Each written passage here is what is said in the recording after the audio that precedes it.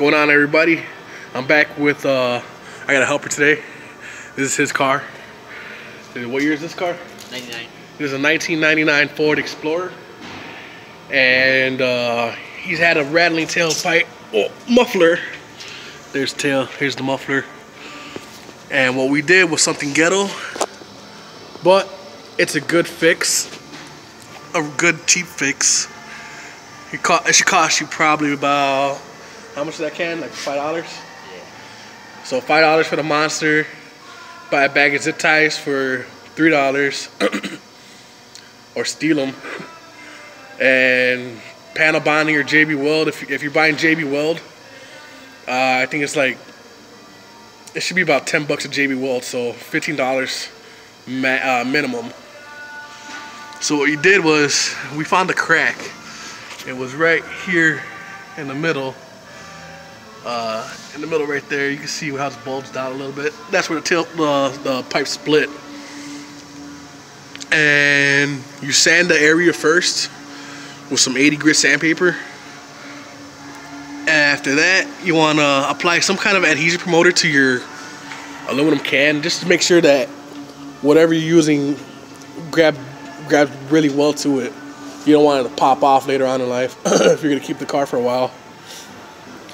Uh, and yeah, let's let's just get into it. So first, sand your pipe with uh, 80 grit sandpaper.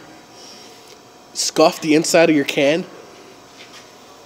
And when you're sanding the pipe, you don't gotta go all crazy. You just gotta uh, put some real hard, rough scratches in there that make sure that the adhesive bites down into it. And again, you can use JB Weld or panel bonding if you're in a shop and you have access to it. Uh, and then you're going to want to apply the adhesive to the can inside of it. And then just wrap that can around as tight as you can. It should it should be able to fold over. Like this one's folded over. See the lips up there? It doesn't stay open. I mean, if it does stay open, whatever. Worst thing, worst thing you got to do is buy uh, buy another can. So that shouldn't be too bad. Uh, you could also use a tall boy. We just use the monster because this guy's underage. but uh, anyways, uh, yeah, get some, get some zip ties and zip tie it really good. And you know what? If you see the edges right here, I kind of sealed it up using my panel bonding.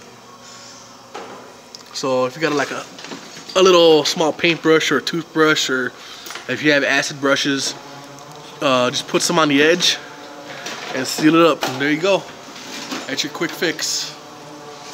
This stuff cures in about 24 hours. So if you want, cut off those uh, those little zip ties or just wait for them to melt off. Whichever comes first. So yeah. Shout out to Edison. It's his truck. Thank you for letting me work on it. And thank you for letting me make a video, even though he didn't fully give me permission.